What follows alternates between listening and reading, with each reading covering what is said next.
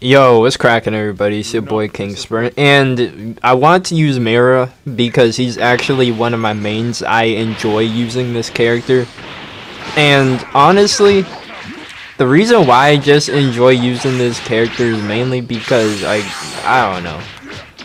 It's just something about his combos that I like, and I try to go for that dive kick, but as you can see, it led to a clash. So yeah, I'm trying to make this Piccolo user, you know, consume a ton of his stamina, so that way I can really start going crazy when it comes to my attacking.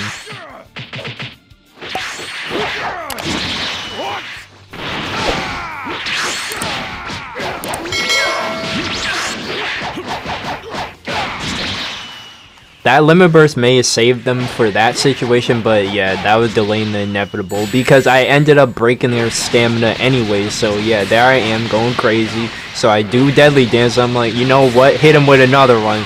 Deadly dance. I don't know. I, I could have did a third, but I was like, yeah, nah, let me not test my luck. I really should have knocked them away and go for a full power energy wave volley, but I didn't. And yep, as you could see I'm trying to block and I'm trying to get that, you know, second stamina break because here's the thing. I got them to burn through their stamina, which is good. Now, yeah, bad Galick Gun. I said Galick Gun, Galick Cannon attempt there. Grab him. We send them flying because you know how it'll be. I don't know how that clipped me, but that range is... It's something else. Nope, no consecutive energy wave for you. And, yep, I got caught, but I decided to, you know, just waste my bar there, just only, you know, end up wasting my stamina again. So, there we go.